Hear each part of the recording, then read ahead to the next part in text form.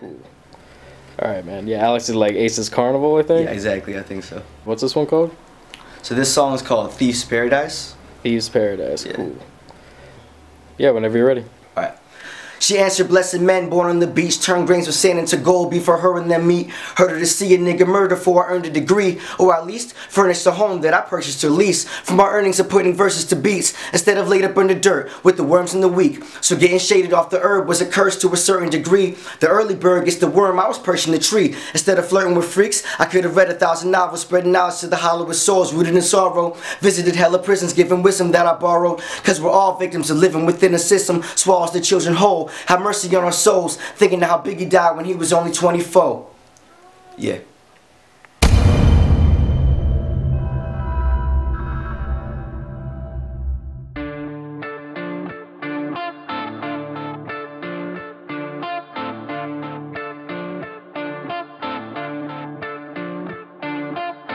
Uh, my best friend though, he was rapping, I didn't even know. Uh, but one day I went to his house and he just pulled out these notebooks. He had like six notebooks just full of like raps, just endless raps. So then every day I'd like come to his house and we'd just be freestyling. And that's what really brought the love and like me getting into the music like that. So my name is Jordan. Uh, I come from San Diego, California. My stage name is Guillermo. Had to make the move to the Bay, living there with my brother now to reconnect with our group SinSerious. It's been a dope ass experience just trying to get into new things and expand our music. San Diego was definitely like the teacher of everything that I know now. Like growing up around taco shops and just the culture, all that kind of stuff is something that is ingrained in me, something that's definitely been a part of my personality and I can't take that away, of course. Hip hop, I feel like I call it a lifestyle. It's a culture, it's a way that you live, it's where you dress, where you walk, where you talk. Uh, hip hop to me has meant everything, it gives you your persona, your attitude, and especially because I'm an MC myself, it's like a lifestyle, I can't escape it. I didn't want to record for the longest time because listening to my favorite artist, I didn't feel like I matched up or at all came close. And the first time I recorded and finally laid something down that I was actually proud of, I was like, okay, I'm actually getting to that level. Everyone's been like a building block and, and something that builds up the confidence and takes you another step towards where you're trying to go.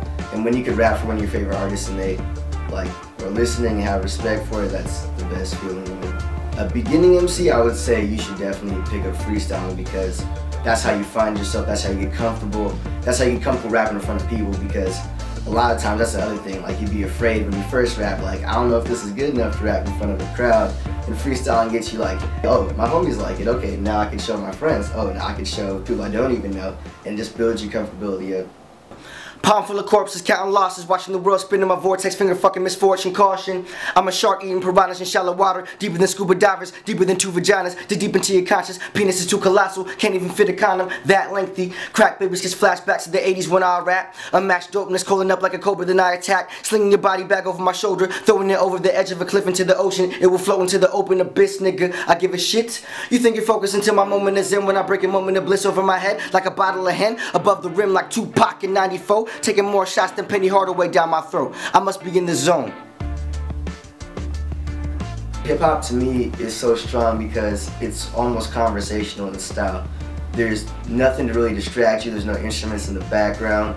It's just the artist almost spilling his soul to you like you're having a one-on-one conversation. And when that with that kind of power, it's just the artist and the individual feels like they're connecting on levels that I feel like other styles of music can't really relate to. And it's it's an amazing feeling, it's an amazing thing. I definitely listen to a lot of jazz too, uh, Miles Davis and John Coltrane. And just music where it's like, I could just put that on the background and write to that alone, you know? I love music that just block out the world for you, just like bring you to another state of mind, another place where you could just be in your own ambiance and just let it go.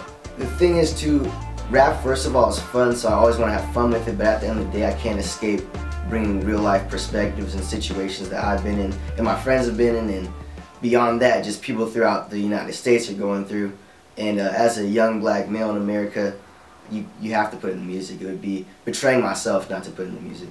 Ice Cube rude, eating food up off his plate. Go Daytona Cruise, circa 98. Birth of Iceberg Slim. Crusader in the Cape Invader Zim. Darth Vader lightsaber letter taste. Never fake, speak cold truth, never hesitate. Letters laced tighter than some grape Jordan number eights. Words marinate over steak with the thunder bass. Knocking like karate chops and drop kicks to the face. Took her on a date, showed up seven hours late.